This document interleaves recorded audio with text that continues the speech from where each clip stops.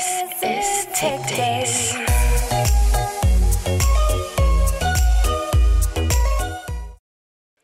Hallå! Dum, dum, dum, dum. Välkomna! Hallå, har ljud, vad Hallå, roligt. hallå, Hej! hallå. Dagens, eh, precis, eh, soundcheck 1, 2, 3. Okej, Testning. Right. då kan vi höras allihopa. Eh, hjärtligt välkomna. Eh, det här är, man kan ha två olika namn på den här sessionen. Det ena är MVP Showcase eh, och det andra är MVP Visa väska. Det är den svenska varianten. Det var så det var stavat faktiskt. Eh, eller som Jörgen och jag sa, show off. För det är ungefär det det kommer att handla om. Jag heter Mikael Nyström, har varit MVP i 14 år. Ehm, Tillsammans med mig så har vi Jörgen Nilsson eh, som också har varit MVP. Hur länge har du varit MVP? Ja, Jag vet inte, det beror på hur man räknar. Ja, skitlänge. Så sju, åtta. Typ. Eh, och eh, så har vi också Nikolaj Andersen som jobbar nu mer på Trusec. Jajamän. Så. Jajamän. Och också MVP sen Dackefejden, höll på att säga. Ja, tre år om du kallar det för Dackefejden, men det är helt okej. Ja, det var ju ganska nyligen. Och Johan. Johan, Yes. som också har varit MVP ganska länge.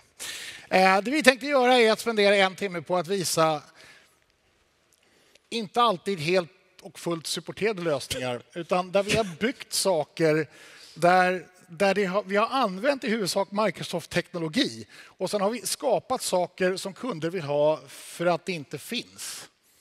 Eh, extend and embrace brukar det kallas också. Och först ut är Jörgen. Var jag först ut? Ja, du är först roligt. ut. Ja, du visar roliga Ja, då saker. gör jag det då. Ehm, då får vi byta till min lilla dator. Men nu, kolla, fantastisk bakgrundsbild, så då är det jag. Ehm, jag tänkte börja med, vi har alltid eh, diskuterat en massa saker. Ehm, så jag tänkte faktiskt jag skulle börja med, ehm, jag sitter i ett litet projekt som heter E-klient som jag har hållit på med nu, där vi försöker bygga en gemensam klientplattform för ehm, kommun och landsting och en massa andra i Sverige. Det var jättekul. Så jag tänkte faktiskt visa någonting som vi inte har visat innan. För jag tror att en sak vi är dåliga på i IT Eh, när vi diskuterar, eh, en fråga jag får väldigt ofta är hur mäter man en klientleverans? Ehm, det är inte hur stor eh, navelludsboll man kan skapa på skrivbordet, om vissa tror det, om man jobbar med klient. Utan det handlar liksom mer om, om vad upplever användaren, tror jag. Då. Så vi har diskuterat det mycket i det vi sitter med. Och temat är PowerShell, så därför tog jag någonting faktiskt ganska gammalt som jag har gjort i PowerShell. Då. Ehm, och jag kanske ska ta den maskinen heller, jag kanske ska ta en som fungerar. Ehm, vi tar den istället. Ehm, som vi har gjort i PowerShell, annars skriver vi rätt mycket verktyg i annat än PowerShell just nu. Ehm, men temat är PowerShell, så vi håller oss till det. Ja, det är VB-skript annars, liksom, mest battfiler. Nej, det är det inte. Men vi tänkte liksom vi skulle försöka hålla oss till det här temat med att försöka eh, se till att användarupplevelsen blir bra och mäta oss då. Så vad vi har använt PowerShell till är helt enkelt att skapa något vi kallar log-on analyzer. Då. Som inte är jättevetenskaplig, men den ger oss ändå någonting att mäta, eller hur? Eh, och PowerShell är trevligt. Eh, det var däremot, är det någon som har försökt mäta inloggningstider någon gång? Det är jättekul, eller hur? Ehm, ehm, det bästa vi kom på är ehm, att köra en massa olika skript faktiskt. Eh, så vi kör egentligen ett skript som är schemalagt till att köra vid uppstart. Eh, fast först när datorn är idle, då är ju allting uppstartat, eller hur? Så då får vi en hyfsad tid på hur lång tid det tar att logga in. Är det någon som har försökt möta uppstartstider? Det är nog roligare. Från Windows 10 startar den upp överhuvudtaget om ni inte ändrar eh, strömspar och stänger av fast eh, startup? Nej, det gör den inte, för den loggar inte ens. Den går ner i någon hybrid-sparläge så den loggar inte ens ett eventlogg som är system startup. Så det är ännu roligare att logga då. Eh, så därför gjorde vi en som heter, heter ett system startup som vi kör. Och sen kör vi en lite senare då. Jag ska se om vi kan göra så här kanske inte. Vi kunde inte, nej. Nej, Det gick ju bra. Då gör vi så här då. Och nu kan vi göra. Så vi har två stycken. En som eh, helt enkelt triggar på ett event. Och det eventet är det eventet vi skapar själv med det första skriftet. Logiskt, eller hur? Ehm, sen skriver vi detta självklart ehm, till VMI. För att vi kör ju SSM i bakgrunden. Och slutresultatet är egentligen att vi kan eh, få i alla fall en bild över uppstartstider. Eller inloggningstider är kanske rätt ord. då. Vi bara säger så vi startar rätt ställe. Det var inte rätt ställe. lite rapporter på detta Eh, och så kan vi då se eh, lite tider som sagt då, på hur lång tid det här tar. Och det är ju ett bra sätt att mäta sig själv. Det där är en annan sak som är svårt att mäta inloggningstider. Det är att första inloggningen i Windows 10 är den jättesnabb. Det är den kanske inte, nej. Så den måste man också filtrera bort i sitt skriptande. Då. Annars så ehm, får du alltid problem. Om du har en maskin som många nya användare loggar in på, då kommer den genomsnittliga inloggningstiden vara katastroflång. Så att du får, logga bort alla, du får plocka bort alla första inloggningar. Annars blir det fel. Du får plocka bort alla inloggningar efter uppgraderingar till en ny version av Windows 10, annars blir det fel. Så skriptet som ligger bakom mig är jättelångt. Ehm, vi ska se om vi kan posta det någonstans sen. Och jag ser här en maskin här som inte är så där jäkla pigg heller, som tar 27 sekunder att logga in på. Kanske inte heller en bra användarupplevelse, eller rättare sagt 95. Men det går att göra då. Ehm, sen så fortsatte jag med detta och tänkte vi kan väl göra lite mer saker runt just användarupplevelsen och mäta oss själva. Ehm, så jag satt och lekte med ett skript som plockar in en massa information. Just nu eh, la jag det här för jag hade inte med mig något bättre sätt att lägga det på. Men tanken är att vi ska kunna göra samma sak här. Jag vet inte hur många som har tittat på Desktop Health i Analytics, det lär väl varit visat här, men typ samma sak. Så vi kan plocka in, är det någon som, vet vad, någon som använder Reliability Index i Windows 10? Eller Windows? Wow! En. Så vi är fyra stycken som tycker det är bra där. Ja, vad bra. Nej, men då gör jag något annat. Nej, vi, eh, vi börjar med att visa vad Reliability Index är, när jag väl har hittat det. Då. Eh, gå igenom din dators status, Reliability History. Då. Så Windows räknar faktiskt ut hur bra vår dator mår. Eh, så här kan man se alla drivrutiner som har felat och allting. Är inte det en rätt bra sak att samla in och titta på? Det är ju egentligen det som, som vi gör i Desktop Health. Då i eh, Analytics. Men det här har vi ju gjort länge och går att göra ändå. Så allt detta kan vi samla in och sen kan vi, får vi ett värde här uppe. Det roliga, det här är också en rolig grej, fast nu ska jag vara snäll mot mig själv. Men om ni ser värdet här på den femte och sjunde, det är jättehögt. Det är 10, datorn är jättestabil de dagarna. Det är för att den låg i skrivbordslådan. Så att man får nu ta reliability index kanske lite med en nypa salt, för den användes inte de dagarna överhuvudtaget. Och det är klart, då är den ju i och för sig jättestabil faktiskt. Ehm, då funkar den ju bra. Men vi kan egentligen samla in allt detta och är inte det ett rätt bra sätt att mäta vår klientplattform? Så vi kan se vad är reliability index? Vilken datormodell är det? Är det datormodellen som har problem till exempel? Ehm, och sen kan vi självklart, om vi vill djupdyka ner i vilka exe-filer, vilka program som kraschar. Ungefär som det ni ser i Desktop Analytics då, eller, desktop, eller Client Health. Då. Ehm, så det är faktiskt en bra sak, eller hur? Ehm, så det var lite om att mäta oss själva. Vad har jag kvar? Jag har några minuter kvar. Ehm, så det vi också har gjort, för jag gillar ju PowerShell också. Vi kör mycket små PowerShell-grejer då. Jag gillar de här sakerna. Jag ska få till en PowerShell Twist strax också på detta. Har jag lovat Micke på allt vi gör idag. Ehm, så att om vi tar en klient så kan jag självklart då samla in alla loggar från min klient. Om jag vill skicka den här klienten vidare till ett annat, eh, till ett annat ehm, nivå i felsökning så kan jag skicka den kan jag skicka på ett skript som helt enkelt samlar in alla loggfiler från den datorn, lägger dem på ett fileshare till exempel, eller vad jag nu vill. Eller mailar dem till oss själva. Då. Så run script är sjukt bra. Är det. Vi har ett annat användningsområde för run script som är lite mer långsökt. Eh, men min kollega Johan Skrevelius har gjort något som ser ut så här. Jag vet inte om någon har sett den, eh, som vi kallar Upgrade Background. Som egentligen är en, en, en service som installerar sig och lägger sig ovanpå allting användarna gör. Och eftersom det är en service, när vi kör servicing, så om, du, du, om ni startar om datorn i tar-sequensen under uppgradering till Windows 10 till Windows 10-versioner, så är det här det första som startar. Så användarna kan inte logga in igen och råka förstöra någonting. Vad har detta med PowerShell att göra då? Det kommer jag till nu. Eh, för att om man inte läser instruktionen för den här lilla grejen då, så ligger den som sagt igång varje gång du startar om datorn, varje gång du gör någonting. Ehm, och sen så mejlar man Jörgen och säger jag råkar klicka på den här MSIn, vad gör jag nu? Liksom. Den kommer avinstallera sig själv efter 13 minuter om inte det är en tar sequence som kör. Hur många av er hade väntat 13 minuter? Ingen, eller hur? Så vad gör vi då för att stoppa den?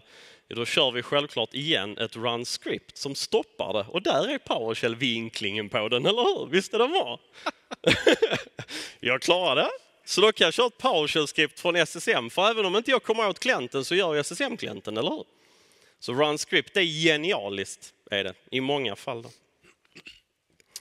Ehm, och jag gillar run script på andra sätt också.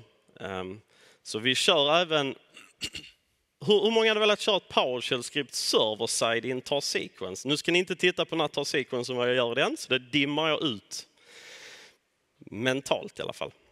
Um, och sen har vi så vi kan göra egna steg här då och säga att jag vill köra ett serverkommando. Eh, det här kräver en liten service som ligger där då. Och vad kan jag köra för serverskommando? Jo, förutom alla andra vi kan köra om man installerar den lilla pluginen så är en av dem just vilket skript ni vill. Så vilket skript ni vill köra som helst på serversidan är bara att skriva här. Ja, egentligen vilket kommando som helst. Eh, så kan man kalla på det bara det ligger rätt mapp. Då. Eh, och det kommandot kör inte via någon, ehm, via någon webbservice eller något liknande, utan vi kör det via statusmeddelandekanalen i SSM. Så skickar vi med hela kommandoargumentet som en, som, ett, som en sträng och sen tittar vår lilla service om den datorn har en pågående deployment, om den ska göra detta och sen utför den det så att vi inte kan köra kommando lite sådär hej vilt när vi vill. Vi får ha lite koll på läget, eller hur? I alla fall lite. Ehm, så att det är också ett sätt att använda PowerShell på de bitarna. Då.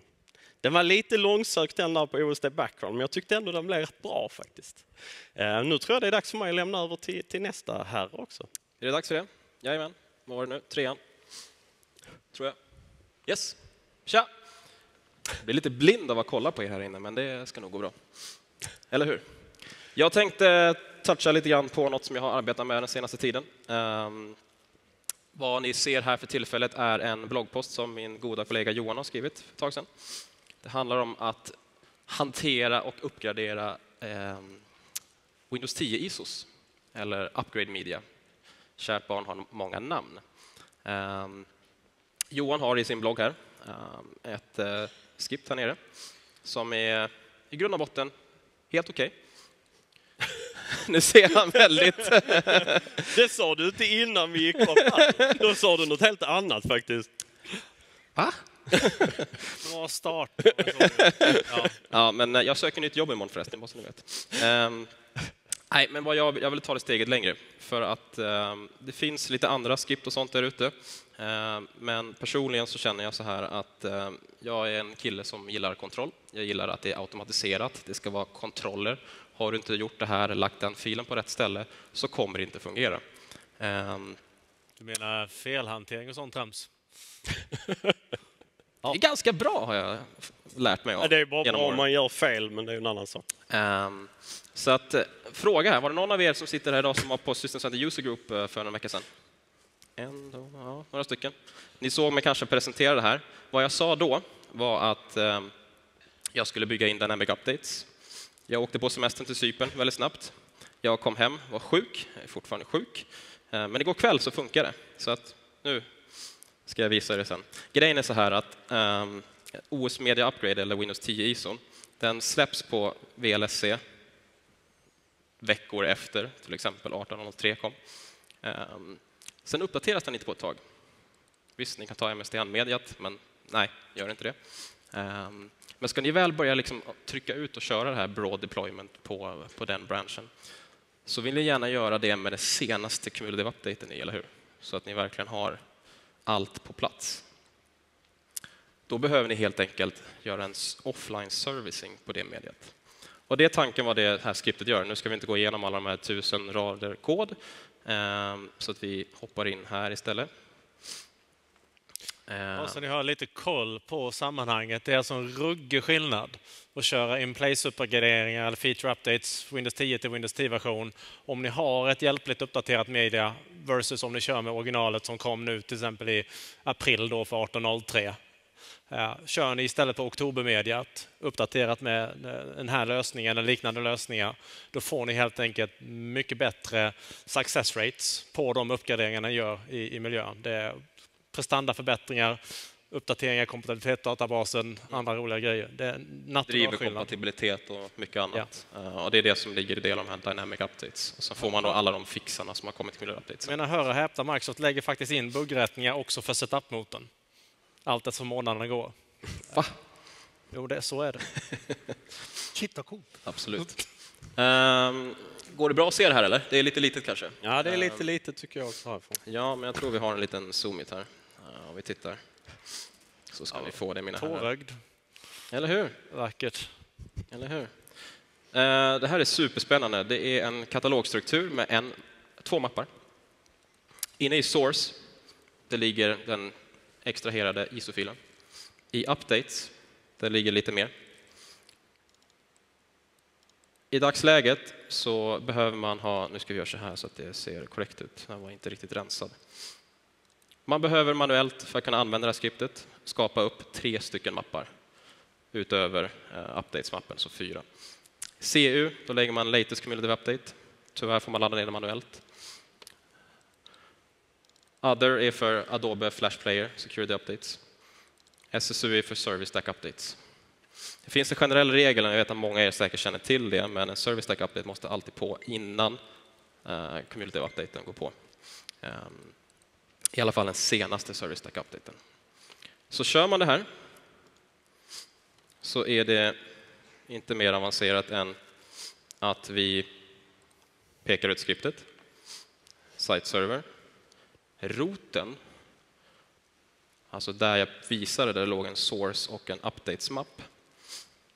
I det här läget är det en mapp som heter Windows 10 Enterprise 1803 x64.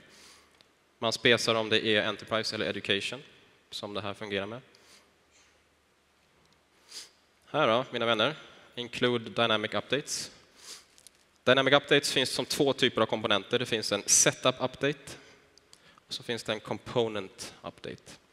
De två måste hanteras man, äh, separata, vilket det här skriptet hanterar. Eh, slutligen så är det OS-version och arkitektur. Inte så mycket svårare än så. Kör man det här, hoppas vi att det lirar, så kan ni se att det skapades två nya mappar här. DCU, Component Update, DUSU, Setup Update. Det här är lite tricky. Latest Community Update måste man manuellt tanka ner varje månad. Eh, samma med Service Stack Update om det har kommit en ny. Eh, Dynamic Updates hämtar vi från Config Manager. För det är ju en separat liten update classification. Man klickar i för Windows 10, Dynamic Updates. I det läget kan vi synka ner så att Vesus har den metadatainformationen och faktiskt ta reda på vilken URL som VSUS Vesus eller Config Manager i det läget använder för att ta ner content. Vilket det här skriptet eh, gör också. Min tanke är att försöka göra samma sak med Service Stacks och Cumulative Updates, men det är lite mer mm, spännande, ska vi väl säga. Eh, så här tuggar det på. Det här ska vi inte vänta på, för då kan vi alla gå hem, för det tar minst en och en halv timme. Uh, vilket, ja, har vi inte Det är tid det som är definitionen på att eh, se när färg torkar. Det är väldigt konsultvänligt. Ja.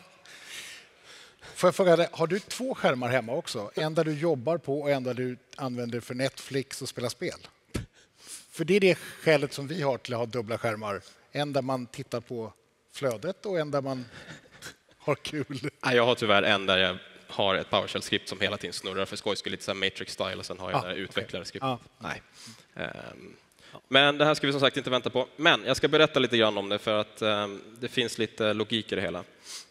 Vad som kommer hända är att när det här är klart är att den har tryckt på Service Stack Update, um, Latest Community Update, Dynamic Updates och om man har lagt in den här Adobe Flashen. Och i och med att man lägger in de här Dynamic Updates på samma sätt så kommer den att skriva över filer i source-katalogen. Vilket gör att skriptet tar automatiskt en backup på hela source-katalogen om man har parametern include dynamic updates. Annars tar den bara backup på de filerna som rent faktiskt blir serviced, det vill säga install.vim, vin.re, eh, vim och boot.vim. Eh, boot.vim. Eh, så det finns lite olika dynamik där i form av backup-scenariot. Men här inne så hamnar då hela det här så att det ligger untouched. Blir det något strul, något fel, den, ni har laddat ner fel latest cumulative update eller liknande, ja, ta tillbaka, copy-pasta tillbaka från source-katalogen helt enkelt. Hur ligger vi till med tid? Min klocka går fel, 50. Det är ju lugnt. Lyfter blicken pyttelite så. Ja, men titta.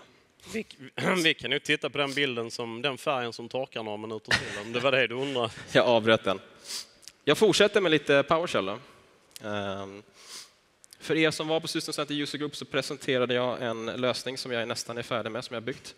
Ehm, till skillnad från mina goda, glada vänner här så är jag inte ett riktigt fan av MDT. Har absolut sin funktion, men jag tycker att det är lite yxigt för det jag oftast vill använda det för. Ehm, Ehm, Nu behöver jag definitivt söka ett nytt arbete. Så att, ehm, Så det var därför du ville jag skulle stå där emellan er. Nu förstår jag det. Liksom. Okej, tack. Nej, absolut. MDT är bra, det, det, absolut. Men jag, Jag vill gärna... jag vill gärna ha lite mer kontroll över saker och ting. Så att vad jag har byggt är en... eh, Eller utökat den Config Manager Web Service som jag har byggt med att kunna skicka in vad jag kallar OSD Monitoring Data. Och syftet med det är för att kunna plocka in till exempel start, end time på deployment. Jag vill plocka in eh, Dart-informationen om det finns tillgängligt. Jag vill plocka in ja, IP-adress, datornamn, you name it, i stort sett vad jag nu kan göra från ett och samma skript. Ganska enkelt. Va? Jag kör ett pre-start script done. Jag bygger inte ut någonting, jag extendar ingenting, jag kopierar inte massa filer på olika sätt från olika skriptkataloger.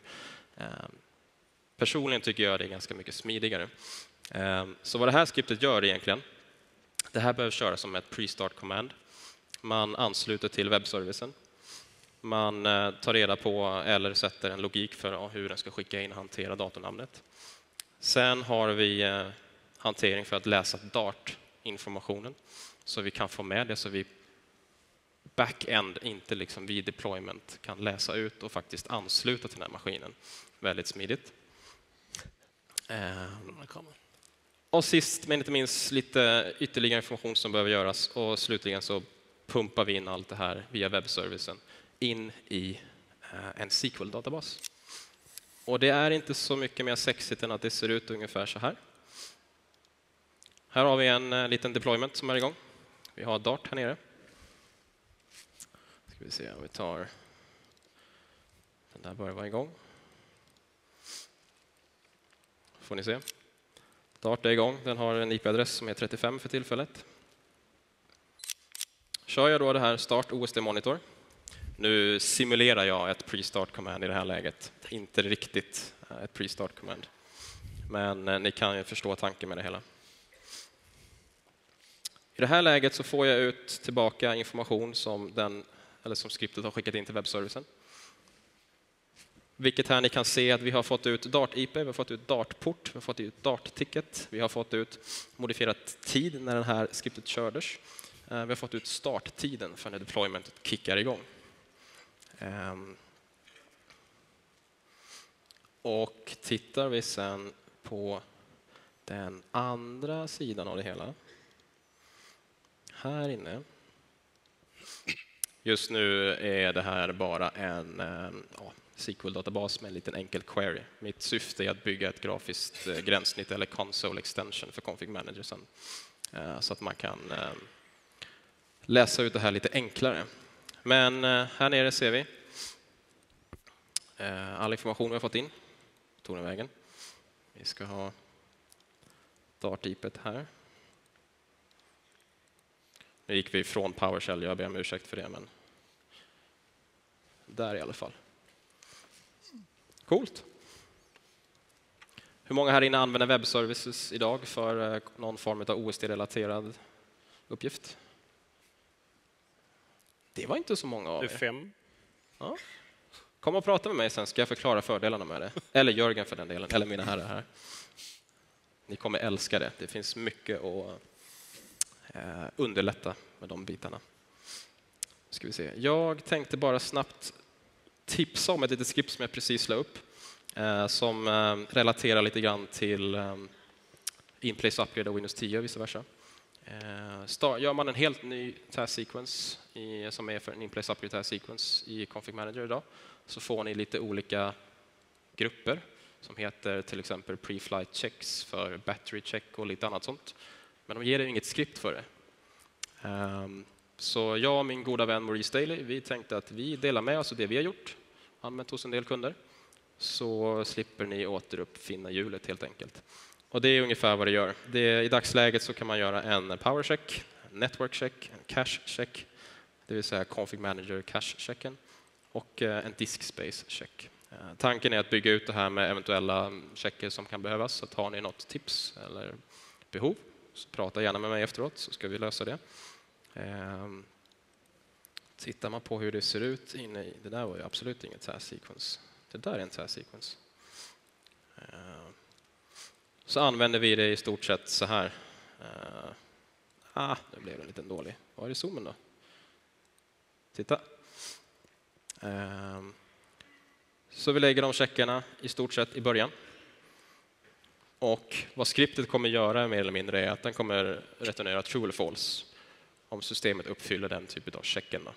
Så tar vi diskspacen, då har vi hårdkodat i skriptet än så länge. Eh, uh, 20 gigabyte måste bara finnas tillgängligt på disken. Uh, finns det det? Ja, då får den tillbaka true och så hamnar det i en task sequence variable och så kollar man lite conditions på det. Eh, I form av om man allowed, då ska alla vara true. Om upgrade är denied, det vill säga att någonting, om någon av de här equals false, ja, då ska vi inte gå vidare helt enkelt. Um,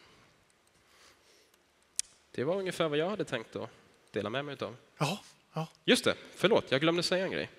Um, skripten hittar ni här, mycket av den pre-flight check-skriptet, uh, offline servicing-skriptet. Uh, och det är då GitHub slash SCC config manager. Eller config MGR. Japp. Coolt. Så du har också börjat använda GitHub alltså? Börjat? Hur går det med färgen som torkar innan du kopplar över? Eller förlåt, ditt skript menar jag.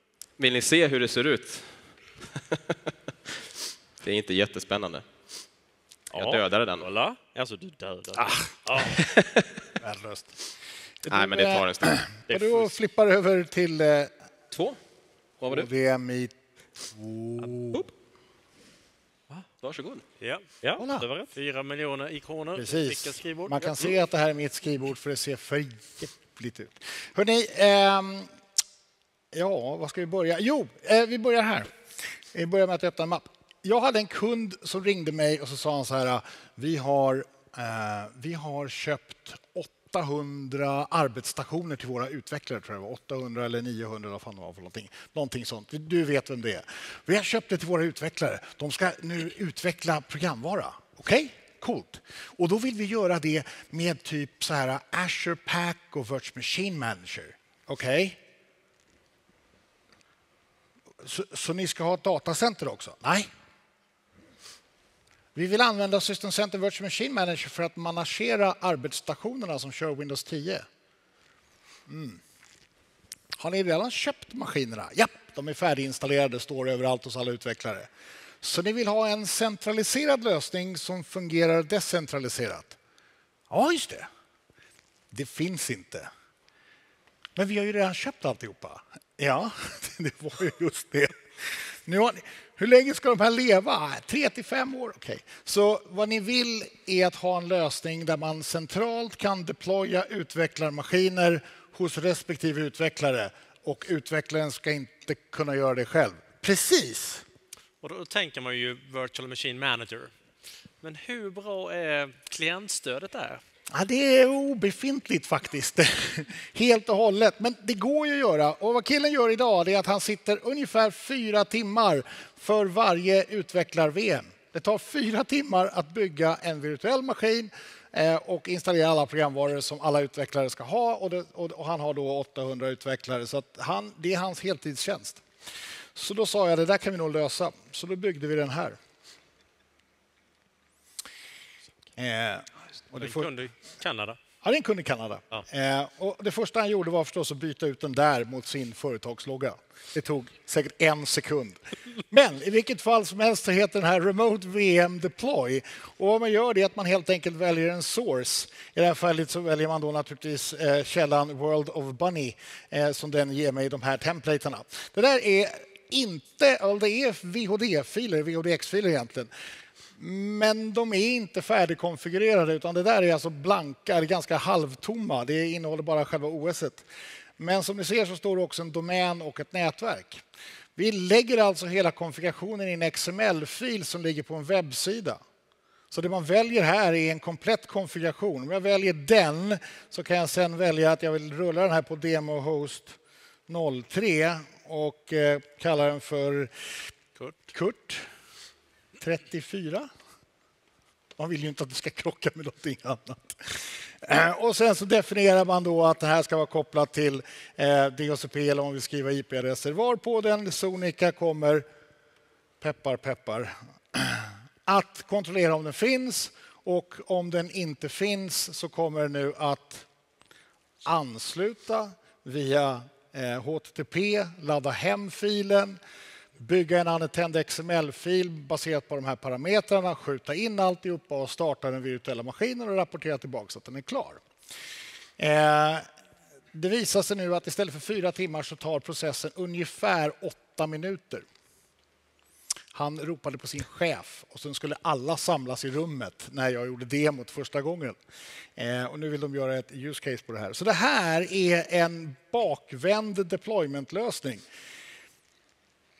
Jag har aldrig byggt någonting sånt här tidigare, men det funkar uppenbarligen jävligt bra. Kunden är tokig. Machine Manager fast PowerShell. Precis, det är PowerShell-versionen. Eh, Jag har inte lagt den på GitHub ännu, men, men eh, jag tänkte att jag faktiskt skulle göra det. En annan sak som jag också gjorde, och eh, det här var...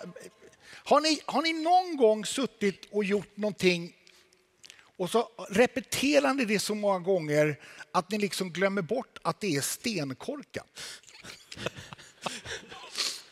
Tills någon annan säger att så här, du, det där är ganska korkat. Jag vet. Och så fortsätter ni. Att ta bort en virtuell maskin från Hyper-V när man sitter och leker och latchar, det är hur enkelt som helst. Man går in i Hyper-V Manager, man tar bort den. Väntar man en kvart. Och så väntar man på att alla filer ska mergas ihop innan man kan ta bort de diskarna som man... Vi kan inte ta bort den virtuella hårddisken för vi mergar ihop alla snapshots. Jag ska kasta den! Du behöver inte merga ihop den för att jag ska kunna slänga den. Och framför allt, var ligger alla filer? All over the place. My documents Ja, precis. Yes. Och det är där man ska... på OneDrive. Precis på OneDrive. Jag skulle snarare Eh. gissa på skrivbordet i mitt Ja. fall, men absolut. Eh, och dessutom kan man bara ta bort en maskin. det- Det är så mycket begränsningar. Så jag gjorde, eller jag har haft ett sånt eh, verktyg som heter Remove VM eh, ganska länge. Men så tänkte jag, nej, det är dags att göra ett GUI till det här. Och eh, den, den listar då alla virtuella maskiner man har. Eh, och jag kunde ju inte låta bli att ge den ett, ett, ett bättre namn än, än just det här. Jag, jag tänker lägga till forever också så att man liksom är helt... Och det är ett verktyg i min smak för man, man letar helt enkelt rätt på den virtuella maskinen och så säger man den där Ta bort och den där. Nej, det tänker jag inte göra. Den använder jag. För den försvinner nämligen på riktigt. Det hade varit roligt. Och så får man upp den där och så vill du ta bort de två jajamensan och så är det klart. Och då plockas de bort. Och filerna plockas bort och mapparna plockas bort. Och sättet man löser den här merge-historien är att man först reverserar skiten. För då behöver du nämligen inte mergea. Jag postade den här utan den här reverse-funktionen, la den på Twitter. Det tog en minut innan jag fick svar från Michael Niehaus. Kan du fixa så att den tar bort mergen också? Absolut. En kvart senare så låg det en ny version som då tar bort den också. Och det är väldigt skönt. Eh, Jag tror vi byggde en, eh, en Kurt. Där ligger en Kurt 34. Eh, och eh, den här borde nu vara medlem i någon sorts fjantig domän och allt sånt där. Deployad i Kanada. Ja, just den här är då inte deployad i Kanada. Eh, så, men den är med i domänen. Eh, och det, grejen är att det här finns ju en motsvarighet i Windows 10 så finns det något som heter Create VM som de skapade. Men den har ju inga anpassningsmöjligheter. Den kan deploya en VM och så får man lik förbaskat logga in i den och joina i någon domän eller vad det är för någonting man ska göra. Så då sitter man där med något halvtaskigt manuellt... Bleh. Jag är trött på manuellt skräp. Jag har en liten historia om Kanada jag kan dela med mig av. Jag har varit eh, deporterad från Ja, Kanada. ja. Det var rätt roligt. Kom dit och skulle göra ett jobb för en kund. Och ska kund i Kanada ska man skicka in papper till facket och tala om att nu kommer en expert in och ska göra ett jobb. Det hade kunden glömt. ja. Så där kom jag vid midnatt. Jag ska jobba. Det ska du inte alls. Du ska hem. ja. Hopp! Hej då! nästa plan tillbaka. Eh, och eh, till skillnad från eh, Nikolaj som står här till höger så tycker jag ju då om MDT. Oj, oj, oj. Shit. Eh, och en sak som vi har haft under lång tid är någonting som vi kallar för Image Factory som vi använder för att automatiskt bygga, bygga referensimager. Och den stackaren den har också fått ett grafiskt gränssnitt faktiskt. Vi var tvungna att stoppa dit den. Så den ser ut så här nu för tiden. Där man helt enkelt konfigurerar hela kalaset och definierar vilket share jag ska ha, vilken server jag kommer att använda, switch och så vidare. Och så vidare. Och därefter så tar man helt enkelt och sparar och trycker på install så installerar den alltihopa, bygger hela deployment-sharet, alla mappar, all konfiguration, alla specialanpassningar fan till hans foster. Och sen går man helt enkelt till fliken importera operativsystem och då kan ni här till exempel se att vi kan importera någonting som inte finns. Är det någon som vill ha den ISOn? Troligtvis inte, för det var den som typ inte var så bra. Ja, den fungerar bra, bara man lägger på alla patchar. och därefter så har man helt enkelt en huvudflik där man uppdaterar, distribuerar bootimagen, eh, rensar, kör med Windows Update och utan Windows Update. Så det är egentligen det enda man faktiskt behöver göra i sin sekvens. Det är att ta bort de sekvenser man inte vill ha. För när man importerar en ISO då skapar den en sekvens för varje vimfil som finns i. Så allting importeras. I det här fallet så kan vi då konstatera att det där kommer vi aldrig ha. Inte det heller, och inte det heller, och inte det heller. Och inte det heller. Så, hej då. Och då har vi bara en sekvens kvar som vi behöver jobba med. Och då är det så här, då ska man lägga till applikationer i den här. Nej, det ska man inte alls göra. Utan istället så går man till bundlingarna. För då finns det nämligen en färdig bundling för varje operativsystem. Så det enda man behöver göra är att öppna den bundlingen, gå till dependencies och så lägger man till de applikationer man ska ha. Klick, klick, klick, klick, klick, klick, klick och så är det klart. Det tar nu oss ungefär 25 minuter från ingenting till att hela image factorn är uppe och klar och vi rullar den första imagen. Sen tar det ytterligare en och en halv timme innan färgen har torkat. Man ska göra en system on capture också. Eh, men det här kör vi hos i stort sett alla kunder. Och skälet till att vi gjorde det grafiskt det är faktiskt att en del kunder gillar automatik. Men så pratade vi med Anders Axhake, vår kollega, så sa han absolut. Fast jag tänker inte schemalägga Image Factory på min laptop. Jag tänker köra den när jag har internetanslutning. Och det makes sense. Det är klart att man vill kunna automatisera alltihopa men ibland vill man ha det semiautomatiskt. Det här går naturligtvis att ladda hem eh, ifrån eh, GitHub. Eh, både källkoden och exe-filen om man vill ha den. Eh, laddar man hem exe-filen så får man en varning som säger “This is not a well-known application”. Och det är helt riktigt. För det är bara tokdårar som sysslar med att skapa referensimager och rulla ut operativsystem. Det finns inte många vettiga människor som gör det. Men om alla laddar ner den här inne blir den kanske Precis. Så, well known. så om jag får önska någonting så kommer ni ikväll gå hem och så laddar ni hem den, kastar den, laddar hem den, kastar den, laddar hem den. Och om ni gör det ungefär 200-300 gånger var, då kommer det att vara en well-known application imorgon bitti. Och har ni fler IP-adresser så använd gärna dem också faktiskt. Perfekt. Remota in till jobbet då. Ja, man laddar hem skräpet. Vill du ha tips, Micke? Signa den. Ja, men jag orkar inte. Jag är tvungen att köpa certifikat och skit. Fan hans moster. Jag ska signa den. Bra. Eh, så. Johan, Ja, eh, flippa till hans skärm. Han Ja, har nummer Vad har du, Johan? fyra. Yes. Ja. Yes. ja, men det där är jag. Och det där är Wordpad. Det har gått upp från Notepad ett steg. Uppgraderat. Ja, man kan ha fet stil. Finns Wordpad 3D snart också? Ja, fantastiskt. Eh, Jag har två grejer jag tänkte prata om. Det ena är ett deployment-scenario som inte är ett deployment-scenario. Det är Windows Autopilot som vi pratat mycket om i veckan. Och det andra är en labbmiljö.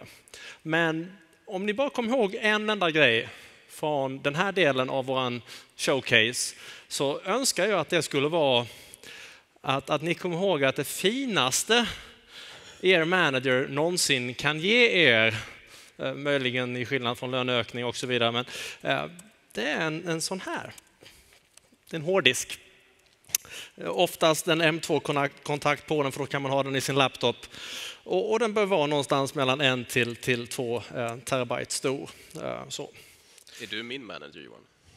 Nej, det är Marcus. Aha. Marcus. Ehm, han hostade lite när jag ville ha 2 terabyte-versionen och sa att de här är inte så jädra dyra längre. De här rackarna, om man inte hoppar på Pro-versionerna till exempel av Samsungs diskar, de ligger på en 250 dollar någonstans, medan de här 2 terabytarna, de är närmare tusenlappen i dollar räknat. Men man kommer ganska långt med en sån här. Därför att om jag tittar på min lilla labburk som jag har här, en, en liten nätt laptop med 6 terabyte SSD-diskar som, som man har i sin laptop. Uh, eller hur? Ja. Ja. Nej, jag måste uppenbarligen prata med någon. ja. Men ni kan se att genom att använda data duplication, jag kör server på den här, så kan jag ha nästan 3 terabyte av VMs körande på väldigt lite disk. Tar väldigt lite diskutrymme. Så anledningen till att jag har alla mina VMs på bara en 1 terabyte, det är just för att det är en NVMe-disk. Och en sån disk är faktiskt Eh, 5-6 gånger snabbare, inte procent, men gånger snabbare än en vanlig SSD som kör SATA, ska emulera, dona och tråka sig. Utan det här är ju PCI Express rätt upp och ner, det är full fart rätt in i CPUn, avlastar eh, avlasta CPUn också. Och det gör att man kan i stort sett ha vilken laptop som helst och veva in en sån disk och man känner att shit, det här går fort. Och det där har vi råkat ut för när vi har hjälpt kunder att migrera. Då går de från sitt gamla SAN och så ska de till Storage Spaces Direct och så migrerar man VMarna och så kommer kunden och säger du det är fantastiskt det här nya. Det går så jävla fort. Ja, vi gör, kör just nu alltihopa på min laptop. Men eh, så ja, det är snabbare än ert gamla SAN. Så en laptop för 30 lax spöar alltså ett SAN för 2,5 miljoner. Det är helt korrekt. Det, SANet är dock lite äldre så att, och man får inte plats med lika mycket samtidigt. Men ja, det går bra mycket fortare. För det här gör det möjligt att ha en labbmiljö uppe och snurra. Och I mitt tycke och tänk så är det det absolut, det absolut viktigaste man kan ha som tekniker idag. Microsoft släpper så mycket prylar var och varannan vecka. Det är så mycket som händer som man behöver testa och dona. Och produktionsmiljö är kanske inte det bästa att, att testa med. Det finns en liten meme som, som går runt på internet och som säger att det är någonting i stil med att precis alla i världen som jobbar med, med IT, vi har en testmiljö. Och några få av oss är också lyckliga att ha en produktionsmiljö. Korrekt. Det är liksom... Men det är bra att ha en labb att sätta upp och det är en ganska förutsättning för det. Kan ni leta upp en maskin med 32 GB ram, skrämma fram en i7 eller någonting så kan ni i stort sett labba med vad som helst nu för tiden. Lyckas ni hitta mer, underbart bra, men det här är det här är en maskin som ligger totala kostnaden på kanske någonstans 11-1200 dollar.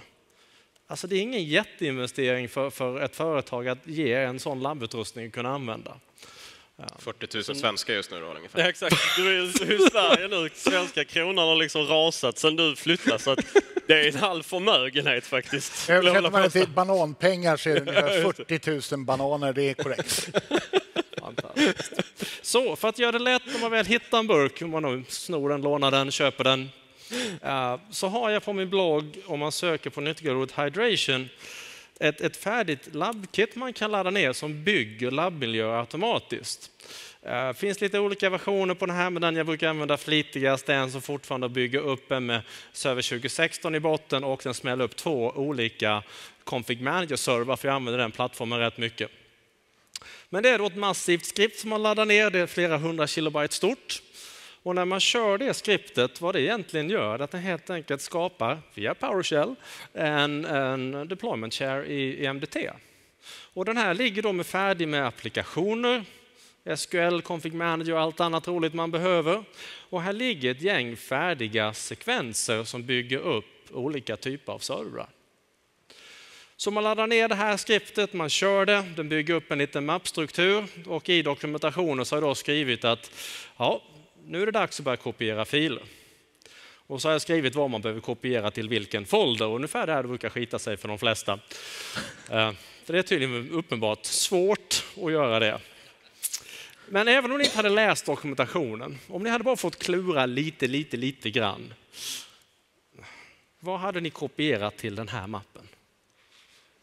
Ja, men SQL Security så, det hade jag nog kopierat. Och, och MDT hade jag nog kopierat MDT. Så här var jag ju duktig tyckte jag och, och skrev in i dokumentationen att, um, ska vi se, var gömde den? Här då. Uh, leta upp SQL med Service Pack 1, inte ISOn utan innehållet av ISOn och kopiera till den här foldern. Men du vet väl Johan att folk läser ju inte, det är bilderna som man tittar på. Ja, men det, för mig är det, liksom, det, det är inte så svårt det här. Men, men det är lättare att titta på en bild. Så om du lägger texten i en bild så kanske man ser bilden. Vad jag får mejl om det är folk som, som kopierar in Service Pack 1 för SQL. Du måste lägga in det på Instagram, de foton och alltihopa. Nej, men, men folk plockar servicepacken och lägger in i mappen och försöker de installera upp SQL från bara servicepacken. Det funkar inte, utan nyckelordet är SQL med servicepack. Det, det är skillnaden. Så till slut slår jag faktiskt in en skärmdump. Det ska se ut så här. När du kopierat färdigt. Men man kopierar en fem, sex grejer. Det funkar alldeles med, utmärkt med utvärderingsmedia som ni laddar ner från Eval Center. Eller om ni har riktiga licenser i företaget, ni kan nyttja, ni kanske har MSDN-licenser, kan ni använda dem. Vi testar de här kitten med båda de eh, versionerna. Men man kör lite kopiering och klistrar till olika mappar så man har fyllt de här mapparna med innehåll. Och sen så går man helt enkelt in eh, under media och så väljer man update media. Då skapas en herrejösses stor ISO-fil som är botbar. Eh, och med herrejösses då så, det är ju inte kanske jättestort, men det är nog en ISO-fil på sisådär 22 gig stor. Som är botbar. Och sen handlar det om bara att skapa upp virtuella maskiner. Det här funkar både i, i VMware, det funkar i HyperV, det funkar på vad sjutton som helst som lyckas bota på en ISO. Ni kan till och med ta den här ISOn och kopiera över innehållet i en USB-sticka som ni har aktiv. Då kan ni bota den på en vanlig dator också. Det går alldeles utmärkt. Men i det här fallet så kör jag Hyper-V och i downloaden så ligger det också ett gäng färdiga eh, i en extra mapp här som skapar upp virtuella maskiner automatiskt som automatiskt mountar den på en ISO och så vidare. Men vill man inte göra det, då kan man självklart leta upp en virtuell maskin man har man tycker är kul. Jag snor någon testdata här som jag har liggande. Det här blir kalas. Och så botar jag helt enkelt den här virtuella maskinen på den ISOn. Vad tog det vägen där? ISO. Och så startar den upp en liten, upp, man får bota från filen också. Ehm. Det här är alltså en offline-media i MDT. Så den startar upp och jag får svara på en väldigt komplicerad fråga på den här virtuella maskinen. Och det är vilken server vill du bugga idag? Och så väljer man någon i listan här. Och när ni sätter upp det här första gången så rekommenderar jag varmt att ni faktiskt börjar med domänkontrollanten. För att de alla de andra virtuella maskinerna kommer säkert joina den domänen. Och då är det jättemycket lättare om den är uppe och snurrar. Men man väljer domänkontrollanten, man trycker enter, sen går man iväg och fikar en kvart. För när ni kommer tillbaka så har ni en domänkontrollant. Då låter ni den virtuella maskinen köra, ni skapar upp en VM till. Och den här gången så botar ni på samma ISO fast ni väljer en av de andra servrarna. Och det innebär att efter en timme eller två då har ni en härlig, färdig labbmiljö som ni kan mecka runt med och testa saker. För tittar man på de här sekvenserna, det här är en sekvens som smäller upp en komplett domänkontrollant. Den bänglar på ett vanligt eh, OS någonstans under resans gång, Windows Server 2016 i det här fallet. Men i slutändan så gör den det som gör en maskin till domänkontrollant. Installera DNS, lite domain services, skapa en DCP, lite scopes, eh, regga den i AD, skapa en struktur med OS och användare, lite subnet, installera PKI om ni vill ha det labba med i labbmiljön. Eh, inte helt rekommenderat till produktion att köra PKI på er domänkontrollant, men i en labb så funkar det alldeles utmärkt. Och här har jag en sekvens som smäller upp en site-server, config manager. Uh, samma sak, installera server-OS och sen så börjar den installera upp allting som berör config manager. SQL, ADK, CM, installera den, installera MDT, integrera MDT. Kort och gott, ni har en färdig labbmiljö. Och sen har jag även CM2 som är en technical preview. Och det går alldeles utmärkt att köra dem side by side. Så länge som ni inte har överlappande boundaries i CM. Jag har varit lite lat, så jag har helt enkelt smält upp en liten Reuter. PFSense, Linux-baserad version med lite olika nätverkskort. Så jag har mina olika servrar på olika fysiska nät, fast de är ju hopknutna av en virtuell router. Men det gör att man kan testa alla sådana här teknologier som LEDBAT och Delivery Optimization och Peer Cache och Branch Cache och Bits och allt vad man vill göra i en labbmiljö. Så man kan ha lite olika kontor liggande färdiga som man kan testa med. Och det som är kul med de här plattformarna, framförallt man använder PFSense, är att här är det väldigt enkelt att sätta limiters, bandbredsbegränsningar. Så mellan Chicago och Seattle, då har jag bara 10 megabit. Jag har en packet loss på cirka 1 procent. Jag har 100 milliseconds latency och den då som sagt begränsad till 10 megabit. Och det är att ni kan testa riktiga scenarion på en laptop utan att behöva stånga till med, med saker i produktion. Men det innebär att från, från start till färdigt när ni börjar labba med de här grejerna, max tre timmar så är det liksom uppe färdigt om ni har en labbmiljö. Och då har ni ändå letat ungefär ISO-filer en och en halv timme av den tiden och försökt hitta liksom nedladdningsmedia och så vidare. Men det är ett väldigt snabbt sätt att bygga upp en labbmiljö förutsatt att vi kan hitta liksom hårdvara och, och köra det på. Eh, jag har faktiskt bara för att det var skoj, eh, eller så, hade någon timme över eller två, jag letade upp en gammal ThinkPad Um, så. Det här är inte världens bästa maskin. Jag köpte den för 200 dollar begagnad på Fry's, en affär i USA. Men den funkar faktiskt att köra en labbmiljö på. Det går inte jättefort, men det går. Och det här är en sju år gammal PC. Så kan ni bara hitta någonting som är bättre än det. Gärna en som närmar sig det här. Då har ni som ni kan sitta och labba och leka och det är SSD-disken som gör själva grejen där. Det är det som är det fina. Så, det var det ena. Labbmiljö, enkelt, snabbt, ladda ner, testa dona. Jag gjorde till och med en video, ligger någonstans på Youtube. Man sätter upp det här om man inte vill följa bloggposten. Eh, det andra är Autopilot-scenarios. Autopilot är ju inte en deploymentlösning. Vi har pratat jättemycket om det i veckan. Det är en teknik för att se till att maskiner hamnar under management. Någon måste fortfarande trycka på Windows på burken, men när det väl är uppe då kan vi eh, hantera den. Så antingen så, så ser vi till att den hanteras i Intune eller så tar vi den hela vägen in i Config Manager så det blir färdigt. Var det någon fråga på Autopilot? Nej, Nej. klockrent, tack. Absolut inte. Nej. Bara kolla. Ja. Eh, och Autopilot kan man i dagsläget hantera på två olika sätt. Det ena sättet det är att ni som admins eller en leverantör knacka in en hardware hash av en maskin i Intune först. Så skickar man ut burken till användaren och när de startar upp den så får de logga in. Men då vet redan burken att den tillhör er organisation eftersom ni förregistrerade den i Intune innan maskinen startade upp. Det andra är scenariot när man, nej men det där vill jag inte göra. Jag vill bara deploya den så den kommer upp direkt i Autopilot. Och det var någonting som Microsoft släppte nu i eh, 18.10.2 av Config Manager. Så har de en färdig sekvens, en sekvensmall, som gör just det. De trycker på ett OS och någonstans så trycker de på Autopilot-konfigurationen. Och det är väldigt avancerat kommando de gör för att göra det här. De kopierar en fil till en mapp som heter Autopilot som ligger i Windows Provisioning. Så hur skapar man den här filen? Ja, det finns ett PowerShell-skript för det som heter Get Configuration File eh, som man kör. Och det innebär att man kan gå in i sin tenant i Intune och hämta ner eh, den profilen man vill använda för Autopilot. Och så under inre utrustning så kan man liksom skjuta in den i Windows.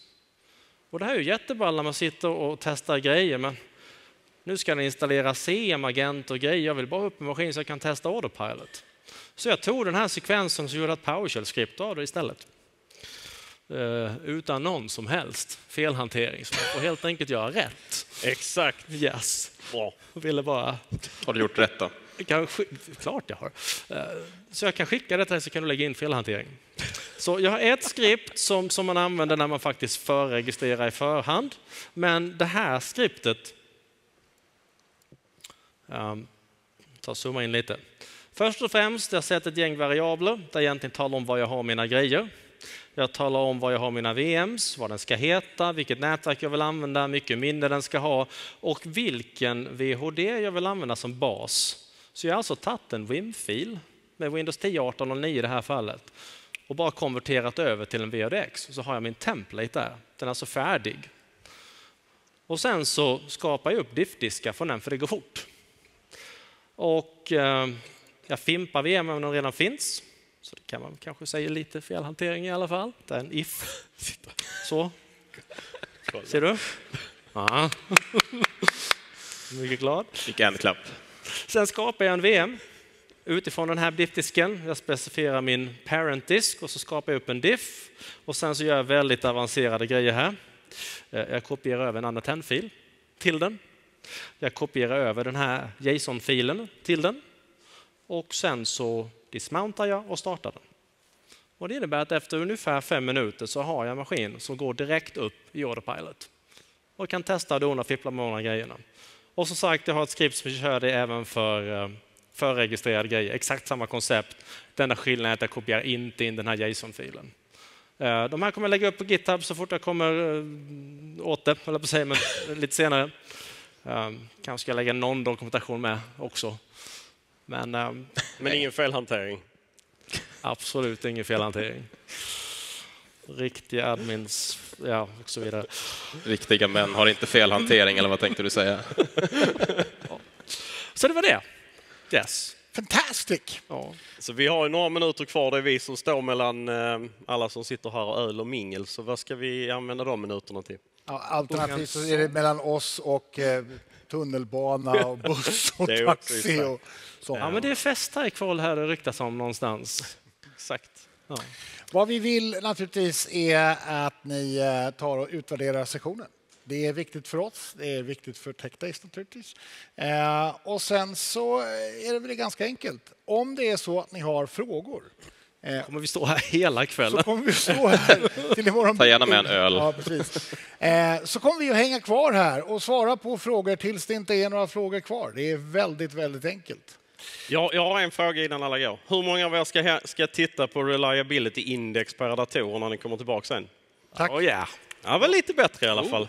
Då får alla andra kan komma och fråga varför ni ska göra det sen. Hörrni, tack snälla för att ni kom hit. Ha en underbar fortfarande konferens, eller bra konferens. Ha det gott. Ha det bra. Tack. Hej. tack. This is Tech Days.